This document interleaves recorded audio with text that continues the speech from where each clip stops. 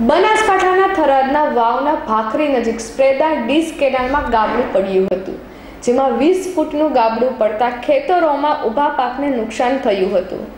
ચાર એકર જીરાના પાકમાં પાણી ફરી વળતા ખેડૂતો પાયમાલ થયા હતા. તેમજ હલકી ગુણવત્તાને લઈને વારંવાર ગાબડા પડવાની સમસ્યા સર્જાતી હોય ખેડૂતો રોષે ભરાયા છે. અહેવાલ રાજેશ જોશી, થરાદ.